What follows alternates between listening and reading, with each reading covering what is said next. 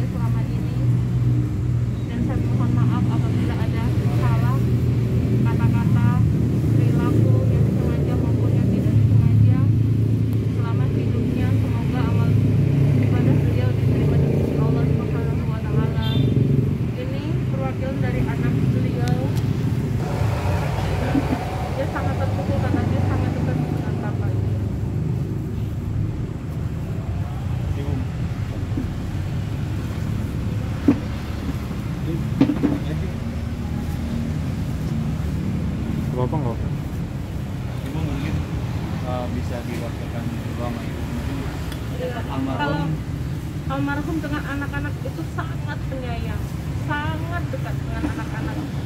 Dia selalu bermain, dia selalu meluangkan waktu untuk bermain sama anak-anak dengan cucunya. Dia sangat saya udah nggak bisa menggambarkan dengan kata-kata dia itu orangnya sangat baik teramat baik buat saya dan anak-anak sangat dekat dengan ayahnya saya rasa hanya itu aja sebelumnya itu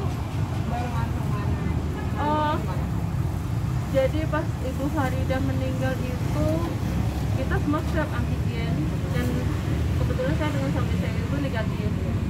Tapi justru saya duluan yang eh, sakit itu sampai hampir dua minggu. Akhirnya dia juga susul. Tapi begitu saya sehat, dia mulai eh, panas. Minggu terakhir ini dia panas. Dan itu begitu di Taruh pundak gua aja nih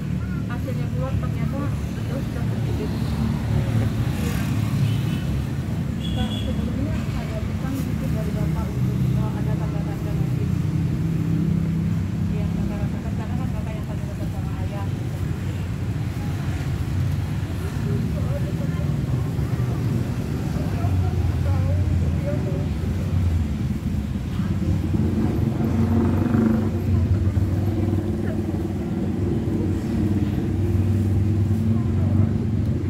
kecil banget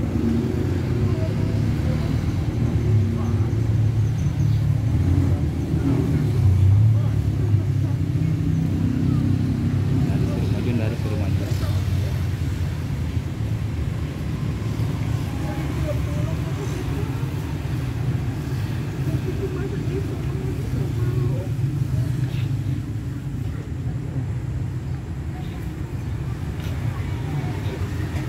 Pak, ada mungkin momen yang belum bisa dilupakan sama kakak atau yang terus majuan dan ini paling manja sama papanya.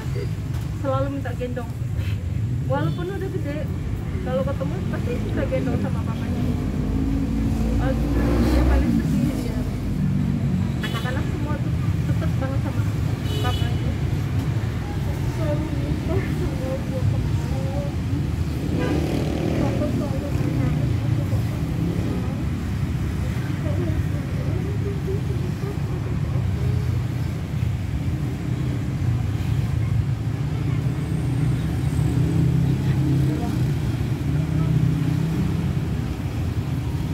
teh untuk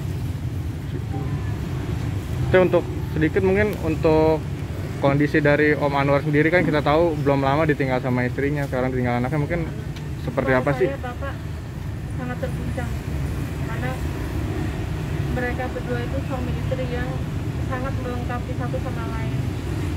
Suami istri yang sangat romantis, yang sangat sabar, sangat setia, dan saya selalu mencontoh apa yang mereka lakukan berdua itu. Saya saksi hidupnya. Itu luar biasa Pak Anwar Fuadi dengan istrinya itu sangat-sangat romantis walaupun sampai akhir hayat begitu uh, Bu Farida meninggal saya melihat sendiri bapak itu langsung hilang seperti hilang semangat sampai sekarang pun eh, kalau sekarang